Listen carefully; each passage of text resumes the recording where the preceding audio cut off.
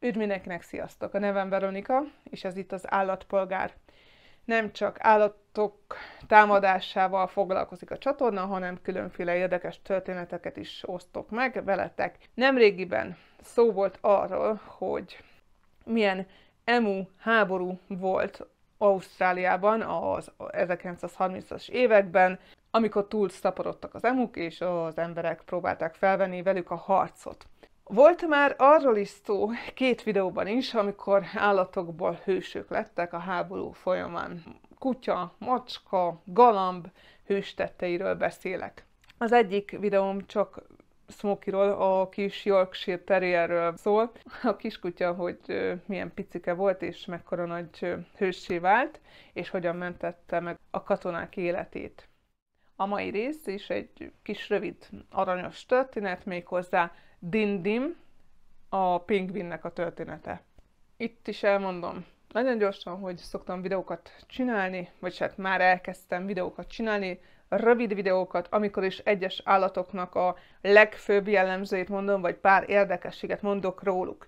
Ha medvetámadás van, akkor, hogyha érdekel titeket egy kis extra információ az adott medvéről, barna medve, fekete medve, jeges medve. Múltkor az emukról, hogy beszéltem, és róluk is egy pici érdekes információs videót raktam ki.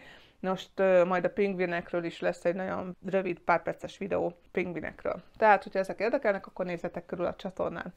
És dindim.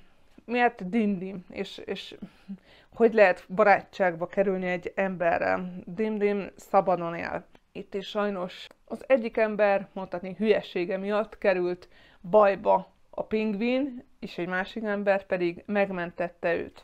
Az emus videóban utaltam arra, hogy erről a történetről készült egy film is, Jean Reno főszereplésével. Számomra legalábbis Jean Reno neve egyelő a, a jó filmmel, úgyhogy én ajánlom nektek megnézni. Kitalakít Jean Reno nem más, mint a 71 éves Joao Pereira de Souzát. Ő egy 71 éves férfi volt, aki 2011-ben találta a szobaforgó pingvinre.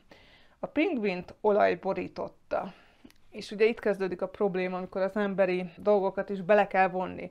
Ugye az óceánok egyre jobban vannak szennyezve, mind az olaj szállító hajók által, és egyre több szemét is kerül bele. És sajnos egyre több állatot érint ez, 2011-ben, tehát Huao rátalál a pingvinre. Nagyon rossz állapotban volt ez az állat, nem tudott kiúszni, nem talált élelmet, úgyhogy már, már tényleg rossz állapotban volt. Ezért a férfi úgy döntött, hogy hazaviszi az állatot. Elkezdte otthon tisztogatni, etette őt, próbálta egy picit visszahozni az életbe ezt a kis állatot. A pingvin egyre jobban lett, és a férfi elnevezte őt Dindimnek. A Dindim az pedig ice popot jelent, és ugye ez a pingvin nagyon illik. Az állat szabadon élt. Sokan kritizálták, mert amúgy kerítés volt a hátsó udvaron, ahol a pingvin úgymond tartva volt, de amúgy szabadon élt.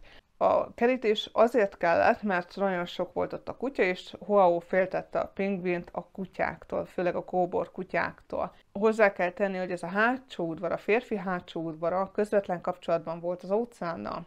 A pingvin kibe járhatott, szabadon mozoghatott. És ami a furcsa, egy hét után, miután jobban lett a pingvin, Huao kivitte egy nagyobb területre, nem csak a hátsó udvaron, hanem kivitte egy nagyobb területre a pingvint, és elengedte.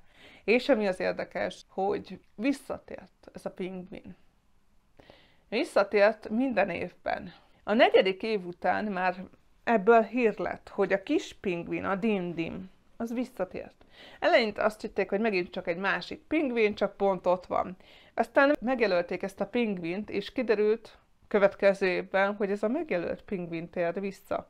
Annyira nem kell csodálkozni, mert a pingvinek azok nagyon hűségesek, mind a társukhoz, mind a fészkelő helyükhöz. És Dindim úgy gondolhatta, hogy ő a család tagja, és ő neki ott a fészkelőhelye, ott a családja, ezért minden évben visszatért. Úgyhogy ez a barátság, ez világhírű lett, nem is csodálom, hogy film is készült belőle.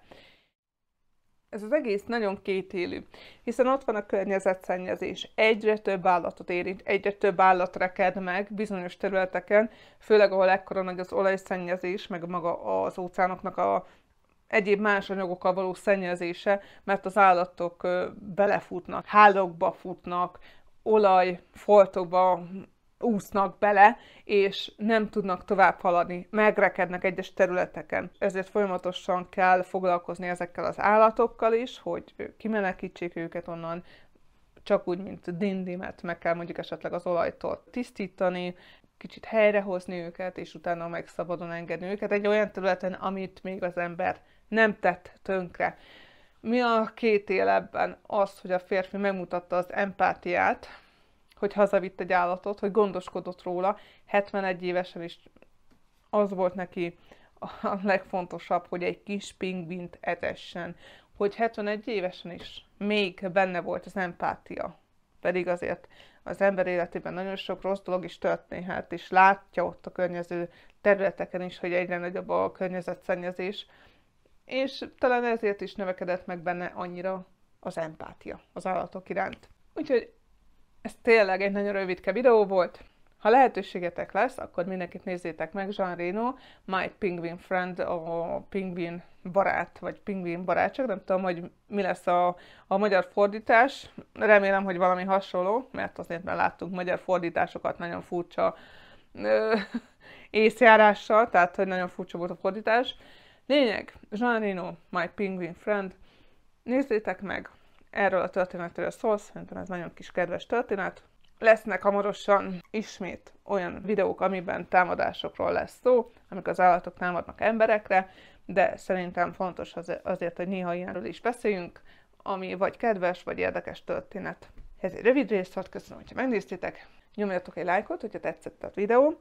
A kommentben várom hasonló történeteket, mert szívesen feldolgozom, és iratkozzatok fel, hogyha hasonló történeteket szeretnétek hallani, és nem szeretnétek lemaradni ezekről. Köszönöm, hogyha megnéztétek, remélem a következő részben is itt lesztek, sziasztok!